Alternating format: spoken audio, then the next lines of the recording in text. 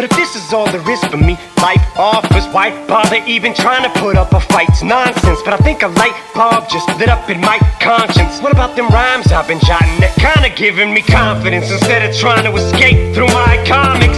Why don't I just blast a little something like Onyx to put me in the mood to wanna fight and write songs that say what I wanna say to that kid that said that I eyeballed him? Grab hold of my balls like that's right, fights on, bitch.